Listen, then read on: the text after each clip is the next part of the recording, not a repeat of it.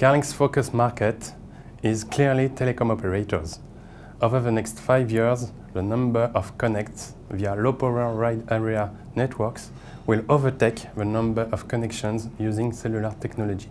This means that operators will have to deploy high quality IoT networks to cover these needs. Private networks and other industries are also markets where we have strong expertise and recognition, being a key element in GRDF smart metering project in France for the gas, which is currently deploying over 11 million connected meters.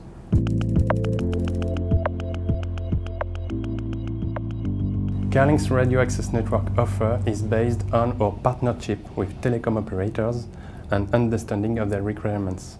Our offer is based on an high-performance, upgradable and reliable base station like this one, and a radio network controller that can be used either on non-licensed frequency bands or private bands. It will also allow to reallocate radio frequencies for maximum efficiencies and offers spectral efficiency features.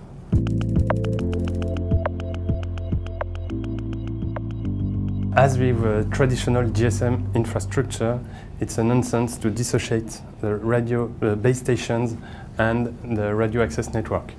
Uh, you need to fully understand the base stations, which are complex pieces of equipment, uh, and the way they work to optimize the performance and to maximize the network potential. Operators will have to make uh, very long-term commitments with their uh, future supplier of radio IoT networks, and they want to be sure that their vendor we'll be able to pick up with technical evolutions over the next five or more years.